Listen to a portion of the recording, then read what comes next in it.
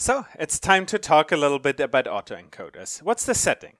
We have an input, here x, then that input gets encoded in an encoder. It potentially goes through multiple layers.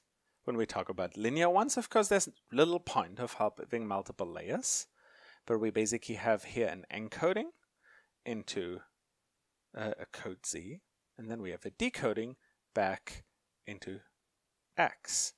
And usually the code is smaller than the input. So at best, we can hope for a lossy compression here. Um, so that's the basic architecture.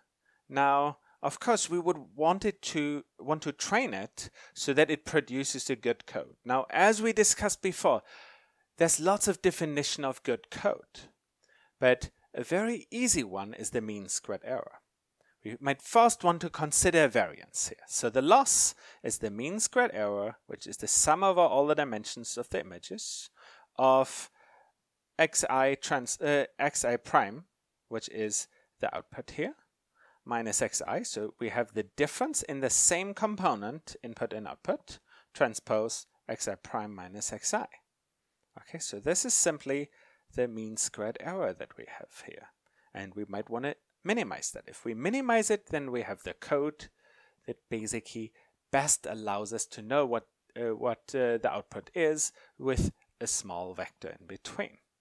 Now, what's a linear autoencoder? Now, we can say we take that code Z that we have in between here, and we say that that code is an encoding weight times the input vector x plus a bias, of course. And then the reconstruction is again a linear function a, a, a, a linear function of z. So we multiply wd, the decoding weights, with z, and add the decoding biases.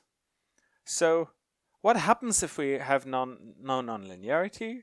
Well, let's uh, look into that. Like, no, like we have the linear and the decode, uh, linear encoder and the linear decoder. And now it's your turn to train a linear autoencoder in PyTorch and have different members of your pod try different k, and where k is the dimensionality of the code. And let's compare what that does to the results.